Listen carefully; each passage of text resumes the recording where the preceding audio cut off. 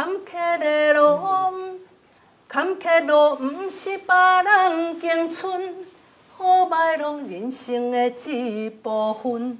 这句是我最爱的。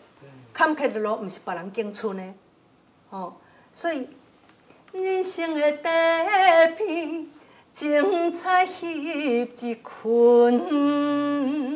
我说走马灯，那不是底片吗？好了，我我来写一张底片，所以我才写了这首歌。所以坎坷的路不是别人经春的，是生命一部分。好坏拢是生命一部分，你都该接受啊，那都是你生命中该有的。所以我现在就接受了所有的一切。所以呢，我弟弟妹妹就特别的跟我爸爸妈妈他们开了家庭会议，还有孩子们、我侄子们，他们都知道姑姑生病了，阿姨生病了，然后告诉他们说，我们在姑姑的面前、阿姨的面前绝对不能流泪，绝对不能不开心，因为我们要给阿姨跟姑姑带来正能量。也告诉了我的爸爸妈妈说，恁查某囝已经辛苦真侪年啊，恁敢无爱？我妈妈流下眼泪说：“爱啊，那是我的宝贝。”讲，但是恁从来毋捌讲出来。大家愈离愈远，因为这些离咱愈离愈远。为什么？一路走愈远。他演出的不再是只有台湾，他演出的还有国外，甚至到了美国，甚至到了呃那个那个国家是巴拉圭，甚至到了巴拉圭，都演唱到那里去了。他离我们越来越远了。我们一个月没打电话给他，两个月、三个月，后来变六六个月，变半年，不联络，你们都觉得正常。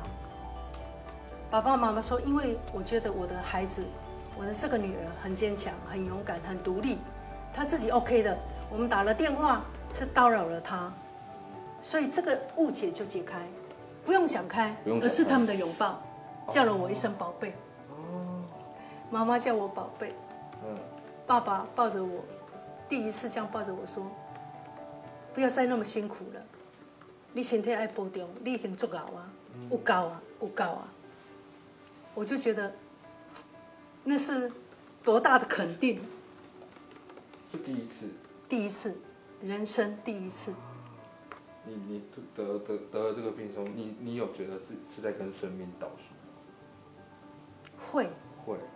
其实还没得这个病的时候，我都知道人生是在倒数。嗯，每一天都很重要，而且每个当下才是真的。你你你得你得了病之后，你有去回去思考说，你这辈子有后悔做过什么事？没有，没有，没有。我没有遗憾，纵使马上离开了，我也没有遗憾。真的？嗯。但是你怎么看得这么开啊？不是看得这么开，而是我很坦然。嗯。然后我最看不开的是，就是怕比爸妈提早走，这是我最不希望的事情。然后我希望自己往后就是没有告别式啦，没有灵堂啦，然后没有人来祭拜啦，没有没有没有什么骨灰坛一定要祭拜什么的，没有，就树葬就好了，就像。我的海报一样，在树底下。如果没有办法这样子，也无所谓，洒向大海都好，洒向哪里都好。我告诉了我的朋友，所有的我的工作伙伴们，我都告诉他们说：你们只要准备一朵栀子花，因为我最爱栀子花，因为我在乡下长大，我是真卡金啊，常常会闻到野间的栀子花的香味。你们栀子花不用拿来我这里，你们就摆在你们家里，摆在哪里都好，到处都芬香。我的往生绝对带来的不是痛苦的一面、黑暗的一面，而是芳香的一面。老师，你是有已经有就是心理准备这件事情，是不是？嗯，因为我我我是个很神经很大条的人，大辣辣的，我知道我常常跌倒，我也知道。如果有那么一天的意外，所以呢，我现在呢将所有的遗书都撕掉了，我就用视频录下来就好了。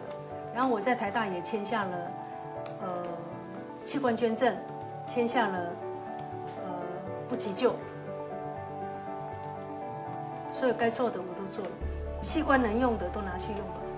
器官捐赠也是放弃急救的钱。哦，那你留下你留下的那些，比如说钱啊什么的，你有？我的最后住的的住宅嗯，全部裸捐。裸捐的意思就是说，当他扣除了政府该扣的一些税金以外，全部的金额，他有多少钱，全部都捐出，这是可以安排吗？可以。所以老师，你有你有你有想说要准备，就是好好跟大家告别，因为现在就是很多那种生死告别，很冒昧问这个问题，因为就是不会你思考，你因为你已经有这种心理呃，我觉得不用告别耶，嗯忽然间消失也是一件好事。然后特别来的告别，好像有点，有点，有点怎么讲呢？嗯，我我觉得不需要，我觉得嗯生命让生命去安排，然后人生这么的无常，我不需要告别。